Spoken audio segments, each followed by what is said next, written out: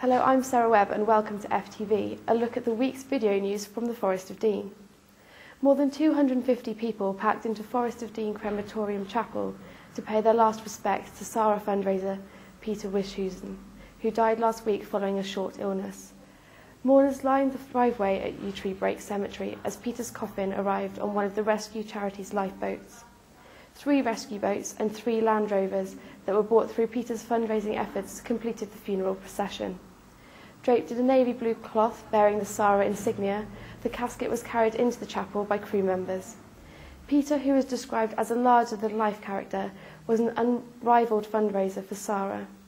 At his insistence, all donations at the funeral were made towards a new building project at their Beachley base. Mystery surrounds the Swan Inn in Brierley after the landlords left without warning.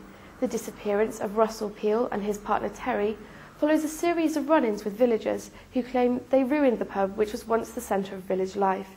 FTV spoke to former pub regular Jimmy Jewell about the pub's demise. A lot of us think that there's a possibility this Russell may have been put in to close the pub down.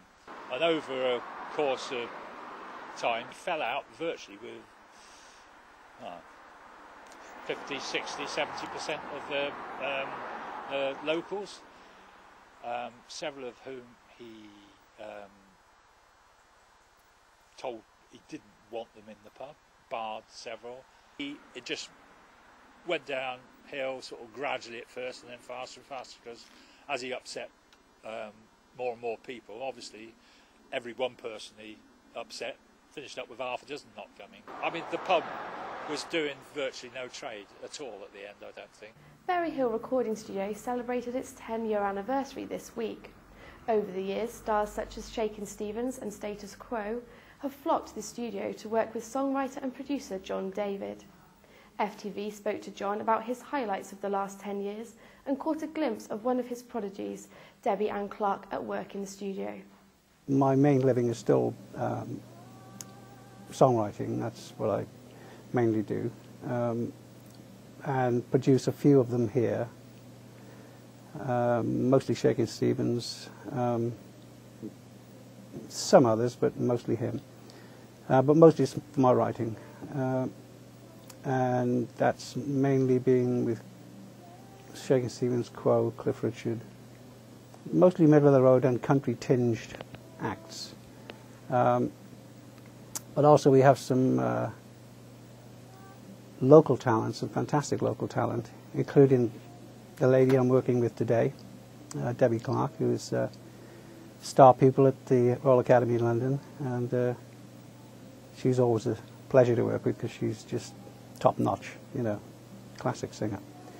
Um, and uh, lots of local bands, choirs, brass bands. we, we have it all in there. Uh, Post production work we do as well, all kinds of stuff. And uh, like I say, we've been here 10 years and it doesn't seem to, doesn't seem to be getting tired of it, so we carry on for the next 10 years. Cinderford boxer Chris Higgs started his professional career with a battling win this week. Cheered on by an army of around 120 Forest supporters at the Swindon Oasis Leisure Centre, the 21-year-old beat the hugely experienced Daniel Thorpe despite needing four stitches to a nasty cut above his eye. Higgs' coach, Andy O'Kane did a great job to stop the bleeding, and the former White Cross pupil went on to win the fight on points by 59 to 55. That's all from FTV this week. For more on these stories and the rest of the week's news, including a schoolboy who was nearly throttled by a skipping rope, the latest on the Cinderford booze ban, and a free glass of organic wine or beer at the Bailey Inn for every reader, don't forget to pick up a copy of this week's paper. You can also keep up to date with breaking news by visiting thisisgloucestershire.co.uk. Thanks for watching. Goodbye.